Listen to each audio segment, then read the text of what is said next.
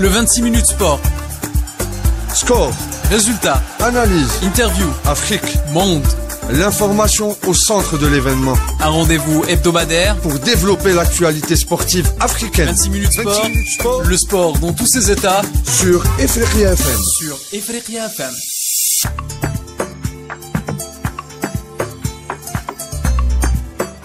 Salutations l'Afrique, Salama Nagadef, Ndjaraman, Ayo, Boto, à tous les auditeurs de Ifrik FM, la voix de l'Afrique.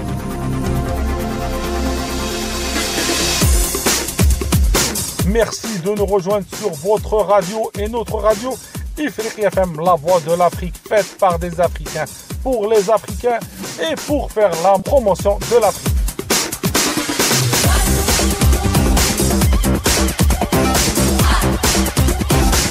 Vous êtes de plus en plus nombreux à nous suivre et on reçoit vos messages de soutien. On vous remercie. Continuez les likes sur les réseaux sociaux Facebook, Instagram, X. Téléchargez notre application disponible sur les plateformes de téléchargement. Mais aussi, on a YouTube où vous pouvez écouter et réécouter nos émissions en podcast. Vous êtes bienvenus à 26 minutes sport. 26 minutes sport, votre magazine qui est consacré à l'actualité sportive africaine qui a touché notre continent, mais aussi qui touche tous les athlètes africains de la diaspora et les athlètes africains à travers le monde.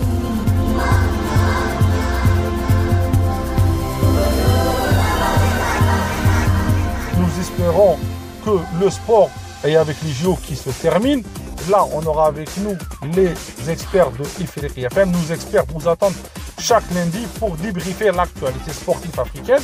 Comme je l'ai dit, je le redis, les JO se sont terminés hier. Le Kenya sur le toit de l'Afrique au niveau des médailles. L'Algérie, deuxième du classement avec, on va dire, des fiertés algériennes. Kylian Mour et aussi Imen Khalif qui a donné une leçon de courage à toute l'Afrique, mais aussi à tout le monde. Imen, elle reçoit l'éloge du monde entier sportif et Kylian Mour a montré l'attachement de la diaspora au pays d'origine avec cette médaille d'or qui nous a vraiment fait chaud au cœur. L'Afrique du Sud, troisième du classement de ces médailles. Les trois nations africaines, ils ont montré de belles choses, même si l'Afrique, elle a donné beaucoup pour le monde. Parce que, pour votre information, beaucoup d'athlètes africains est nés en Afrique, originaires d'Afrique, mais qui ont porté les couleurs d'autres nations pendant ces jours, ils ont gagné des messages. On va revenir sur ça dans notre prochaine émission, peut-être. On va parler de ces, Africains qui ont quitté l'Afrique pour manque de moyens, mais que avec eux, le talent existe. Cette semaine, on a appris aussi le limogeage de. Kaba Diawara, il a été lim- limogé suite à l'élimination des petits Guinéens euh, des JO. Ils n'ont pas gagné de match. On reviendra sur ce sujet-là de suite avec notre consultant et notre ami de Conakry, Mohamed Sissé de Guinée Foot. Bonjour Mohamed. Bonjour Ali, bonjour à tous les auditeurs de Ifriqiya FM, euh, bonjour depuis Conakry. Mohamed, une question un peu gênante. Euh, Parle-nous du limogeage de Kaba Diawara.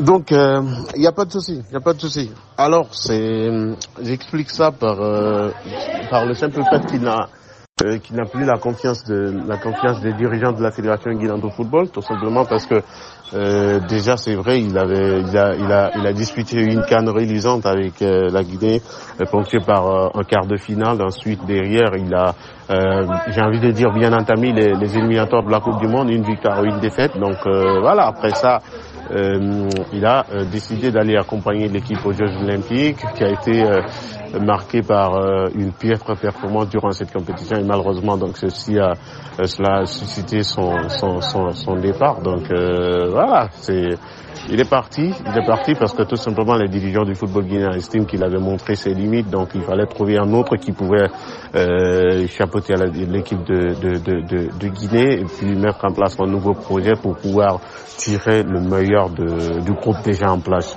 Aussi, on aimerait bien savoir quelle est la réaction euh, de la famille du monde footballistique en Guinée.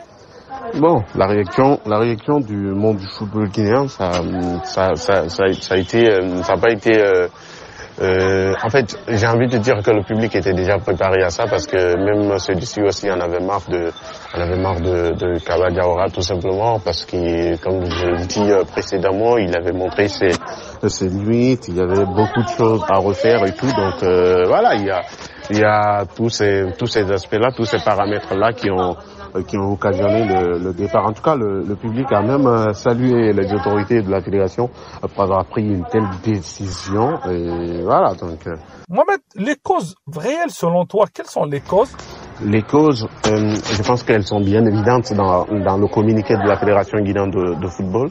On dit euh, l'objectif non atteint durant les, la, 30, la 33e édition des Jeux olympiques euh, à Paris. Donc voilà, du fait qu'il n'a pas pu mener l'équipe jusqu'au triomphe ou même jusqu'à l'étape souhaitée par la Fédération, c'est ainsi ça. Donc l'objectif non atteint non atteint, c'est ce qui a suscité le, occasionné le départ de, de Kaba à la tête des deux catégories de l'équipe nationale. La participation de la Guinée au niveau des JO, euh, Mohamed, comment tu l'as vu cette participation? Bon, la participation de la Guinée, elle a été euh, nettement une déception, une déception parce qu'on s'attendait mieux. Ça fait ça fait combien de temps qu'on prépare cette cette compétition-là? Il y a beaucoup de paramètres qui sont entrés en vue. Les joueurs ont été mis dans de bonnes conditions pour pouvoir aller représenter dignement euh, le pays dans cette compétition. Et malheureusement, ça a tourné au vinaigre. Ça a été marqué par une grosse désillusion, un gros déchantement de la part des joueurs et tout. Donc euh, voilà, en tout cas, c'est donc c'est une grosse déception, une grosse déception en tout cas. Et, on est en plein mercato. Euh, comment s'annonce ce mercato-là? Plus on est sur la fin, le mouvement des joueurs guinéens pendant ce mercato? Bon, le mouvement des joueurs guinéens en Europe, beaucoup se bougent, beaucoup sont en train de se chercher des portes de sortie pour pouvoir bénéficier euh, le temps de jeu et tout. Donc euh, voilà, ça, en tout cas c'est c'est une satisfaction de voir que les joueurs, de voir que les joueurs eux-mêmes ils sont en train de demander euh, leur départ pour aller voir ailleurs et euh, gagner la confiance du staff en place de là-bas et puis euh, gagner du temps de jeu surtout. Donc un joueur, si euh, tu es dans un club, tu joues pas et tout, donc euh, forcément tu, tu vas ailleurs. donc c'est ce que c'est ce qu'il est en train de faire. On a vu euh, euh, Guy Morgan qui a décidé d'aller à Sainte-Poli et donc voilà, qui avait moins de temps de jeu avec le Racing Club de Lens et tout. On a vu aussi Ali Badara du Baldé qui a décidé d'aller à En Bundesliga évidemment, qui espère aussi gagner du temps de jeu beaucoup se sont euh, ont effectué du, du, mouvement durant cette période de mercato-là. Ils espèrent en tout cas ça va aussi être marqué par une réussite pour eux, surtout, comme ils l'espèrent déjà. En tout cas, c'est c'est une grande satisfaction de voir que les joueurs euh, sont engagés, déterminés pour avoir du temps de jeu et montrer ce qu'ils savent faire. Mohamed, comme tu le sais, tu es un habitué de FRI FM. Donne-nous euh, un dernier mot, comme tu veux. Merci Walid, merci à tous les auditeurs. Allez, à bientôt. Ciao, ciao. Une Walid. Merci Mohamed Sissé de ta gentillesse pour vous rappeler Mohamed Sissé, journaliste à Guinea Foot. Guinea Foot, une référence sur le football guinéen. Mes amis, likez, allez visiter le site. Du football, on passe à la boxe avec nous. Un grand nom du noblard, Redouane Asloum, mes amis algériens, qui est boxeur professionnel actuellement. Il est, il est originaire de la ville de Boussada, dans les portes du désert algérien. Il a obtenu champion méditerranéen du WBC, boxeur professionnel, champion de France de 2005 à, de 2002 à 2005. On va avoir avec nous Redouane. Bonjour Redouane, un mot sur le combat de Imen Khalif pendant ces JO Bonjour euh, Walid. Euh, le, combat est, vraiment tactique et technique. Euh, Imen, a très bien boxé, elle a su s'adapter tout de suite dès le départ. Et euh, je pense que niveau technique, elle a, été très intelligente. Elle a su attaquer, contre-attaquer. Elle a fait le match qu'il fallait. L'objectif c'était de gagner, c'était pas de faire la bagarre. Elle a été très intelligente et c'est là que on voit le sport de haut niveau et pas donné à tout le monde. Euh, Redouane, toi le professionnel, le regard de la France sur la boxe féminine algérienne Alors le regard de la France au niveau de la boxe féminine algérienne, je le vois comme un danger pour, euh, pour, pour la France parce que l'Algérie, elle a toujours été une école de boxe et euh, se voit aussi sur les filles. Et euh, je pense que c'est inné et euh, les Algériens, c'est des combattantes. Et je pense que dans l'avenir de la boxe, l'Algérie saura très forte. Redouane, comment tu as vu la polémique euh, sur Imen et pourquoi cette polémique? Comment tu l'expliques? La polémique sur euh, Imen, euh, parce qu'elle est algérienne, et je pense qu'aujourd'hui, euh, le regard de l'Algérie dans le monde est, euh, très regardé, et c'est positif. À nous, des sportifs et des hommes politiques et le peuple algérien, de se comporter correctement, parce que tout le monde nous regarde. Et euh, je pense que hum, qu'elle s'arrêtera pas, quoi qu'il arrive, parce qu'on a toujours l'Algérie a toujours défendu l'injustice et euh, l'oppression. Et aujourd'hui, elle le fait encore. Elle l'a fait dans le passé. Et je pense que certaines personnes euh, ne veulent pas que l'Algérie euh, dise les vraies choses. Et c'est pour ça que l'Algérie aujourd'hui, tout ce qu'elle fait, en bien ou en mal, on va critiquer. Et je pense que la polémique sur Imen, ça a été, euh, c'est que politique. Et euh, c'était injuste sur elle parce que tout le monde sait que Imen, c'est une fille. Elle a grandi en tant que fille. Et à part qu'elle a grandi dans la boxe et elle a un caractère euh, euh, de boxeuse. Aujourd'hui, elle s'est affirmée, elle a, elle a su euh, emporter cette victoire haut la main et elle a mérité parce qu'elle n'a pas boxé, elle n'a pas fait qu'un combat et aujourd'hui, si elle est là, c'est qu'elle le mérite. Elle a été dans les, elle a été qualifiée dans les huit meilleurs africains. À partir de là, la pole elle a été faite et, euh, et elle a fini la meilleure de, du monde. Elle est championne olympique. Il met un grand chapeau à elle. Redouane, on aimerait bien savoir euh, quel est ton avis sur la boxe algérienne? Aujourd'hui, la boxe en Algérie, elle est très importante parce que c'est un pays déjà de, boxe. Il y a déjà eu des champions du monde et il y a déjà eu des grands champions algériens. Euh, c'est juste que l'Algérie elle manque de structure et de et de gens compétents. Pourtant, il y en a, il y a des bons compétents, mais on leur donne pas les moyens en fait. Et euh, je pense que les jeunes, ils sont pas assez exposés dans, dans, dans la boxe. Il n'y a pas assez d'organisation en Algérie et pourtant ils ont le public qui adore la boxe. Et il euh, faudra avoir plus d'organisation, il faut avoir plus de mélange, il faut avoir d'autres des gens connus qui viennent boxer en Algérie et qui relèvent le niveau parce que le niveau il est déjà élevé mais pas assez visuel, pas assez euh, dans le regard du monde. Et je pense qu'on a on a une carte à jouer euh, sportivement euh, aux yeux du monde avec la boxe parce que il y a un gros réservoir de boxeurs algériens. C'est juste parce qu'ils n'ont pas de matériel, ils n'ont pas de de- d'infrastructure euh, de, leur niveau. Et euh, je pense que si l'État algérien se, se mobilise sur la boxe et le sport en général, et je pense que ça va être un bon facteur euh, au regard du monde et euh, l'Algérie sera toujours forte parce que regardez, euh, Imen a gagné, c'est un combat de boxe. C'est comme si elle avait gagné une, bataille. Et aujourd'hui elle a gagné la bataille et est en train de se battre pour la guerre. Et la guerre, c'est dès qu'elle sera championne du monde et, dès qu'elle se, elle se mettra à la retraite. Et je pense qu'elle est bien partie. Il faut continuer à la soutenir. Il faut surtout euh, la motiver, qu'elle continue et, euh, et qu'elle va bâtir ce titre mondial pour l'Algérie. Et je pense qu'elle a les capacités, et ça va être dur, mais elle a les capacités pour. En tout cas, maintenant, médiatiquement, tout le monde va derrière elle et tous les combats qu'elle va faire, elle va être regardée aux yeux du monde.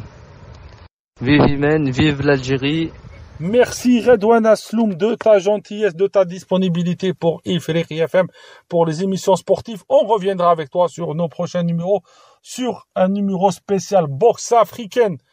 On enchaîne et on termine avec le Cameroun, notre ami Guy Itoum de Camfoot. Il sera là, il est toujours là.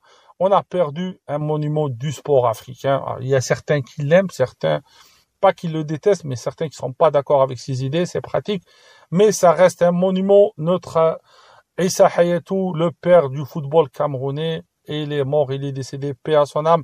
Issa Hayatou, il est décédé, il était président de la CAF pendant quelques décennies, il était intérimaire à la tête de la FIFA, grand nom du sport camerounais, grâce à lui, le Cameroun s'est qualifié plusieurs fois pour les Coupes du Monde, Ah, grâce à lui, le Cameroun a passé un cap au niveau de la gestion, et paix à son âme. On reviendra euh, avec notre ami Toum Bonjour Guy, le peuple camerounais a pris comment la disparition du monument et tout Bonjour Walid, bonjour à tous tes auditeurs, à tous les auditeurs du Féké FM. C'est toujours un plaisir pour moi de revenir sur la radio africaine faite par les Africains et pour les Africains.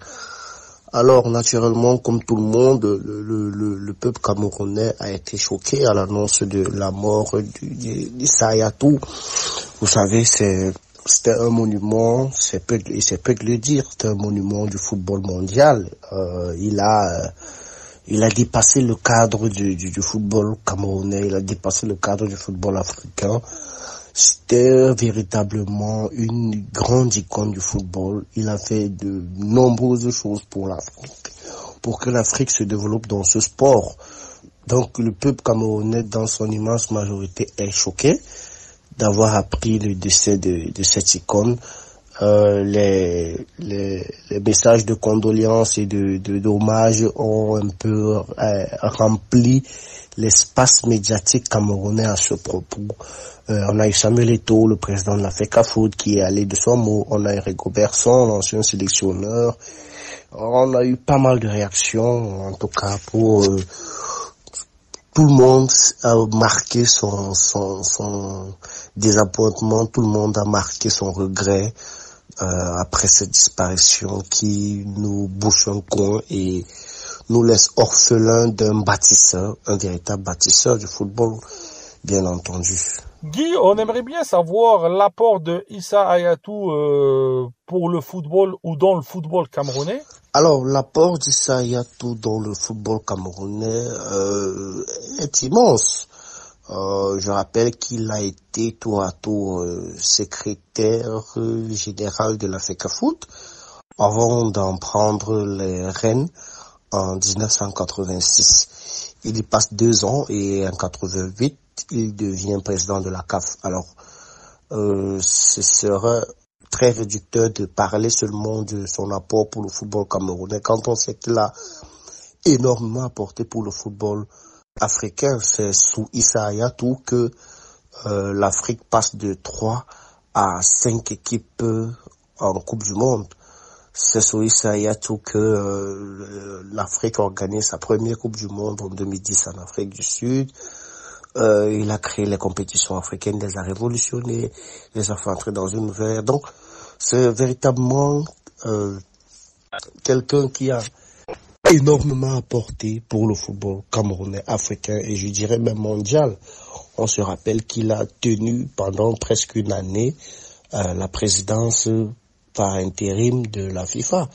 Et c'est lui qui a dirigé le congrès électif qui a conduit à l'élection de Gianni Infantino. Donc, euh, il n'y aurait pas assez de mots pour exprimer son apport pour le football, tellement il a été énorme pour l'ensemble des Camerounais, l'ensemble des Africains et une bonne partie du monde entier. Donc, euh, voilà, c'est très triste ce qui lui a, ce qui lui est arrivé et on espère que son âme va trouver le repos mérité.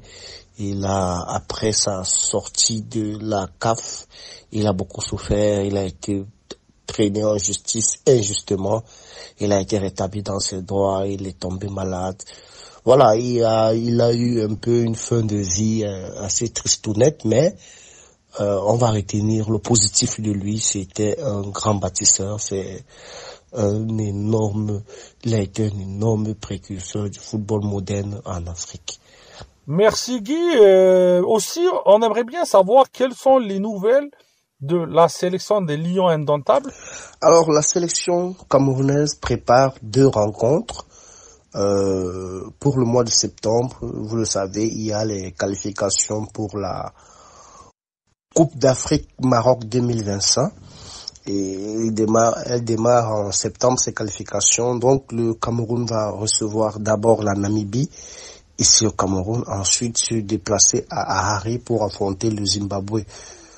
Euh, pour l'instant, les nouvelles sont calmes, mais c'est le calme avant la tempête. Vous savez, euh, au Cameroun, depuis avril, pratiquement la sélection camerounaise est sous haute tension et ce n'est pas prêt de s'arrêter parce que là, on se dirige vraisemblablement vers un nouveau feuilleton euh, aussi désastreux que celui qu'on a vécu en juin. Euh, la fédération camerounaise a déjà choisi pour le match du 7 septembre contre la Namibie le stade de Japoma à Douala. Euh, mais selon les nouvelles que j'ai, euh, les informations que j'ai pu glaner ici et là, euh, il semblerait que Marc Brice, lui, préfère plutôt le stade de Yaoundé Omnisport stade sur lequel il a joué son premier match avec la sélection contre le Cap Vert, victoire 4-1.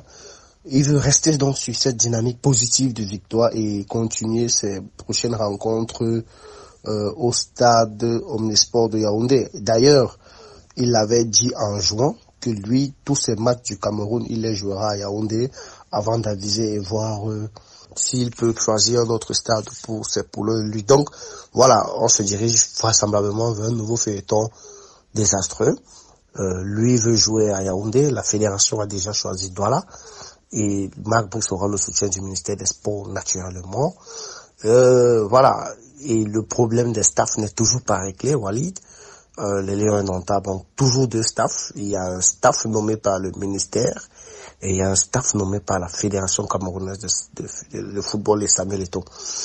Et à date, on ne sait toujours pas lequel après séance et lequel va diriger les Lions pendant cette trêve de septembre. Donc, en gros, voilà les nouvelles.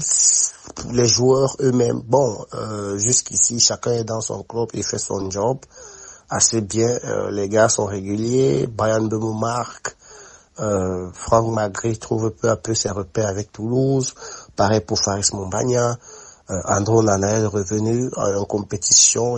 C'est vrai qu'il a perdu le Community Shield avec Manchester United face à Manchester City. Mais pour les Camerounais, les footballeurs, ça va. Ils euh, poursuivent leur bonhomme de chemin dans leur club respectif. Mais au niveau de la sélection, Je crains que septembre nous laisse encore un goût amer au niveau de la gestion et du spectacle.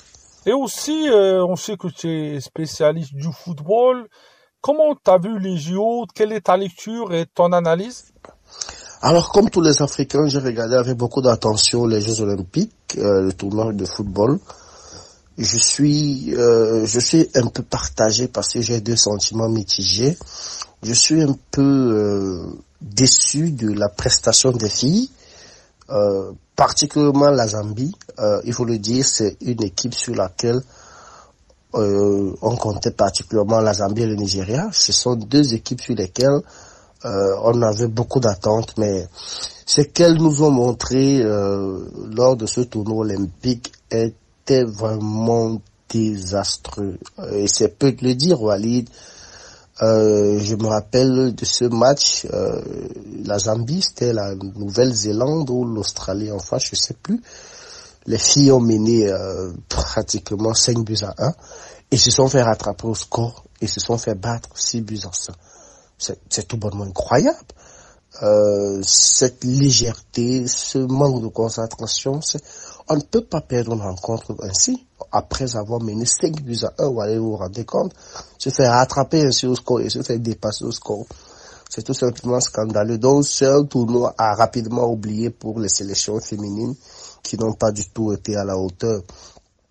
Par contre, euh, les sélections masculines nous ont montré de belles choses. Euh, on retient euh, la médaille euh, de bronze pour le Maroc et le beau parcours de l'Égypte aussi.